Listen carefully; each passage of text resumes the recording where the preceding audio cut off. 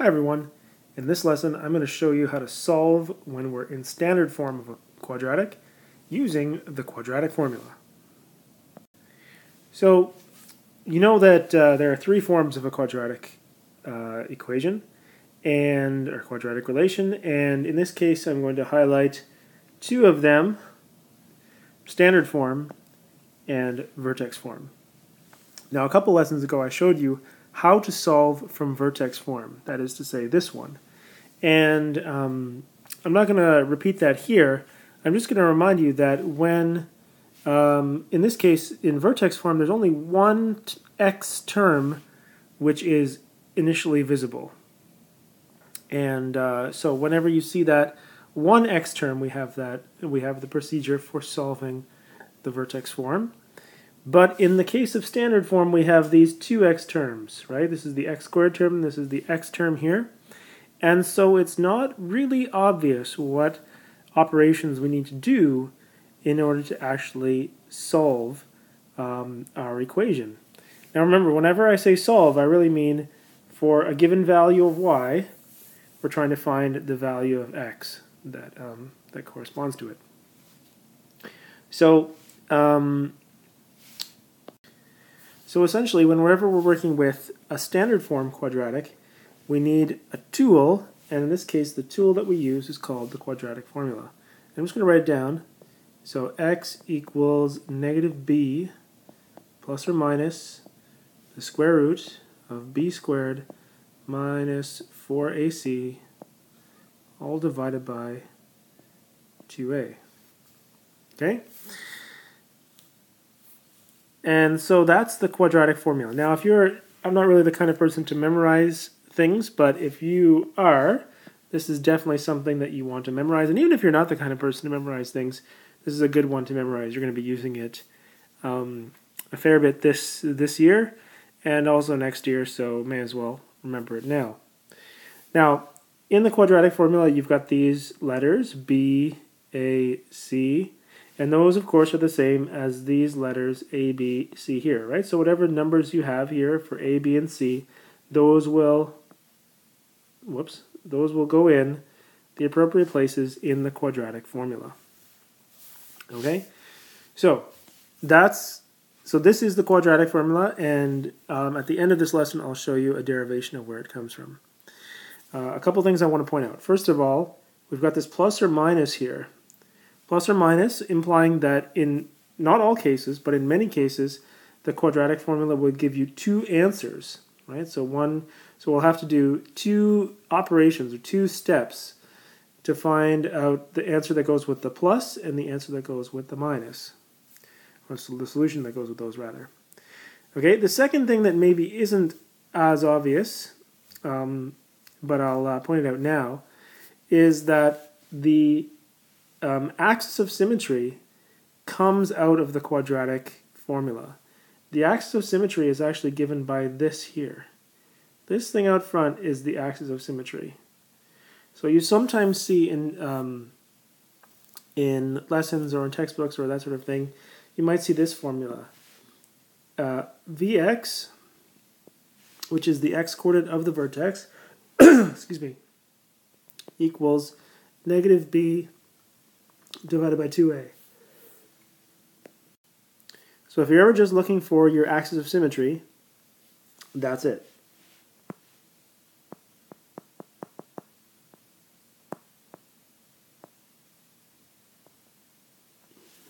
Okay, the other thing that um, I might point out is you'll learn more about this in grade 11, but I'll just kind of mention it now. This term here, underneath the square root sign, is has a special name. So this b squared minus 4ac, that's known as the discriminant. Oops.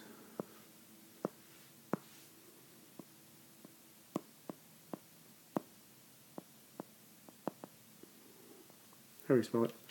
Okay, b squared minus 4ac. And basically that um, that uh, that term tells you how many answers or solutions you are going to have um, when you solve your quadratic. If this, so this is a number, right? This is all a bunch of numbers whatever values b, a, and c have, if you um, evaluate this, you will get a number. And if that number is greater than 0, you'll have two solutions. If it's equal to 0, you'll have one solution. And if it's less than 0, you'll have no solutions. Okay? Like I said, you'll spend more time on that in grade 11, so I'm not going to go into too much detail right now. Um, yeah, so just look forward to that in grade 11. Okay, now I just want to do a couple examples. So let's say, for example, our prompt is uh, solve um, where we have this parabola and this horizontal line. So whenever we say solve, we're trying to find the values of y, uh, sorry, we're trying to find the values of x for a corresponding value of y. Graphically, we're trying to find the intersection points of this parabola and this horizontal line. So our first step is always to set the y's equal to each other, right? So I'm going to start off by saying 10 equals x squared plus 2x minus 5. Okay, that's always step one. The second thing that I'm going to do, step two if you will, is I want to make one side of my equation equal to 0. Since I only have one term on the left, is 10, I'm going to subtract 10 from both sides in order to get 0 on the left. Just like so. I have 0 equals x squared plus 2x minus 15. All right, now that I have 0 uh, on one of the sides of my equation, on the left side in this case, now I can go ahead and apply my quadratic formula. So I might just, for the sake of uh, keeping things a little easy, I'll write down a equals 1, b equals 2, and c equals negative 15. All right, so that I know the numbers to plug into my formula. And now I'll do that.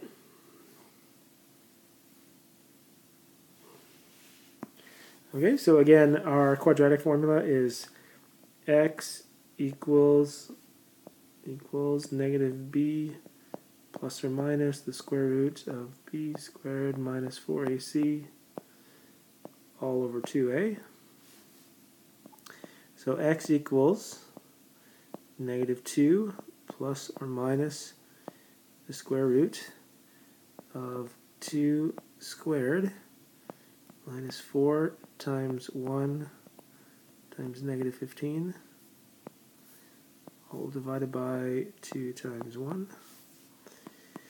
So we're going to have negative 2 plus or minus the square root of 2 squared is 4 minus plus 60, so it's 56. All divided by 2.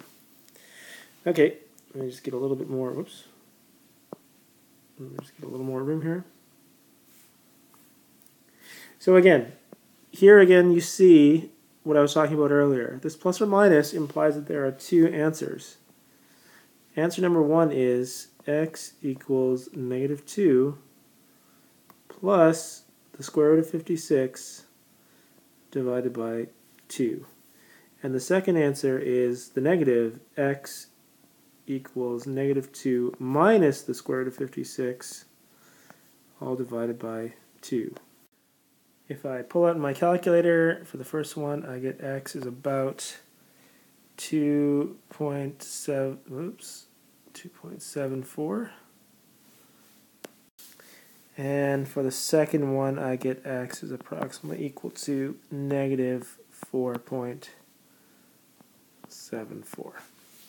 Okay, so those are my solutions. So since I started off with uh, my y, I already know my y is 10 my solutions, which is to say my points of intersection, I'll just do it over here. My points of intersection are uh, 2.74, 10, and negative 4.74, 10. Okay, that's it. okay, so just remember the steps are as follows. you start off by setting the y equal to each other. So 10 equals this guy over here. That's how I got my first step. That was step one. Step two was when I subtracted that number from both sides in order to get zero onto one side, which I got here. So that was step two. And then step three was uh, write down my a, b, and c values and put them into the quadratic formula. And then work it through using a calculator. That's not too hard. Okay, let's try one more example. So here is a slightly more interesting question where I have a parabola um, here, x squared minus 1, and a line, y equals negative x plus 2. So in this case, the parabola, I don't know exactly what this looks like, but uh, my rough sketch would be something like this. If I have a parabola x squared minus 1, there's that. And the line negative x plus 2 does something like that. I don't know. So that's basically the idea. I'm going to be looking for those two points. okay, so finding the points of intersection is a little bit more work, but not much more. And again, it's going to start off the same way. I'm first of all going to set this equation equal to this equation. So I have uh, x squared minus 1 equals negative x plus 2. Alright, so that's step 1, right? Step 1 done. Next, I want to get 0 on one side of the equation. It doesn't really matter which side I do, so I'm going to get the right side equal to 0 by adding x to both sides and subtracting 2 from both sides. Okay, so on this side, those cancel, those are add to 0, I should say. And what's left on the left side is I have x squared plus x minus 3 yeah, equals 0. Okay, so that's step 2. Done. Step 3 is I want to write down my a, b, and c values. So here I have a equals 1, b is also 1, and c equals negative 3. Just like that. And I'm going to put those into my quadratic formula right now. So I have x equals negative b plus or minus the square root of b squared minus 4ac all divided by 2a. Alright, put in the actual numbers, negative 1 plus or minus the square root of 1 squared minus 4 times 1 times negative 3 and divide that by 2 times 1. Okay, again the plus or minus tells me that I'm going to have two answers. So the first one is x equals negative 1 plus the square root of 1 plus 12 square root of 13 divided by 2. And the other one, x is going to equal negative 1 minus the square root of 13, all divided by 2. So for the first one, I get an answer that's pretty close to 1.3. And for the second one, I get an answer that's that's pretty close to negative 2.3. Okay? Those are my x values. To find the actual points of intersection, um, it's not quite as easy as it was before because my line is an oblique line. Right, it's got a slant to it here. so what I would do in this case is I would take these x values and put them back into the equation of the line and just work out the y value uh, from there. And I'm not going to do that right now. But, uh, you can always you can always put this in the Desmos graph this one and this one and verify that the points of intersection are here. Okay, so like I said earlier, I'm going to show you where this um, quadratic formula came from. So in other words, I'm going to derive the formula. Um, I'm never going to ask you to derive a formula ever on a test or quiz or anything like that. And um, in fact, our curriculum specifically says not to. So but I but I don't uh, feel it's right to ever give you a formula without showing you showing you where it came from. So I'm going to start with uh, whoops, standard form x ax squared plus bx plus c. And I'm going to take that quadratic and make it an equation setting it equal to 0. Okay, just like before, we always want to have one side equal to 0. Then what I'm going to do is I'm going to factor a out of each of the terms. So I'm going to have a times x squared plus b over a times x plus c over a, and that's all going to equal 0. All right, this next step is going to be kind of annoying, but what I'm going to try, what I'm basically trying to do here is uh, complete the square from uh, from a previous lesson. So I'm going to have a times x squared plus b over a times x plus b over 2a squared minus b over 2a squared plus c over a, and then I'll equal 0. So I just want to point out, these two terms here are the two new terms that I've added in, and they since they add up to 0, I can do that. I can always add two terms so long as they add up to 0. Then I haven't changed the balance of my formula. All right, the next step of the equation gets a little easier. So I have a multiplied by x plus b over 2a um, squared. So that's me completing the square minus b squared over 4a plus c equals 0. So all I've done in that case is um, completed the square using these three terms. I used those three terms to complete the square. And then these two leftover terms I brought out of the, uh, of the parentheses, and so they collapse down to these two. All right, next step. I'm going to uh, I'm going to add these two terms together, and to do that I need a common denominator. So the first bit stays the same, x plus b over 2a squared minus b squared over 4a plus 4ac over 4a equals 0.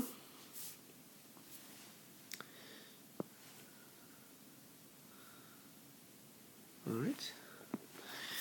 And then I am, uh, I'm sorry, I'm going to actually add those together. So I'm going to have a x plus b over 2a squared minus b squared plus 4ac all over 4a equals 0.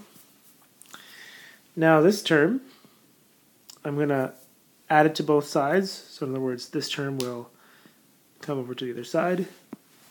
So I have a x plus b over 2a squared equals um, b squared minus 4ac all over 4a.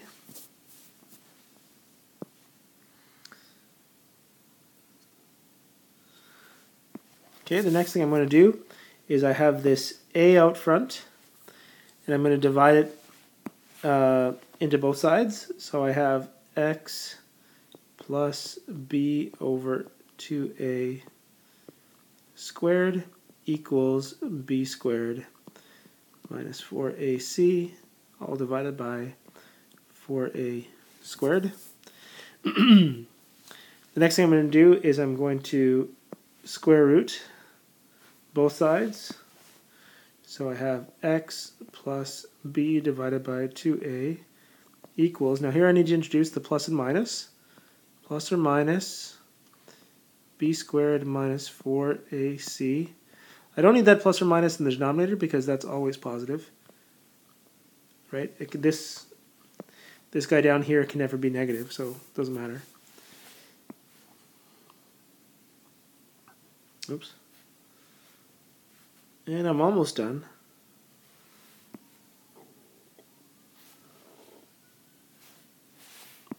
Sorry, just trying to work my way around here. Whoopsie daisy. Okay, anyway.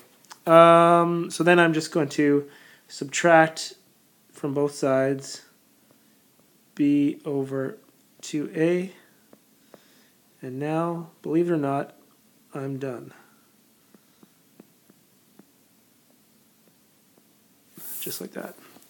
Okay, as a last step, I would combine these two terms to get the uh, expected result.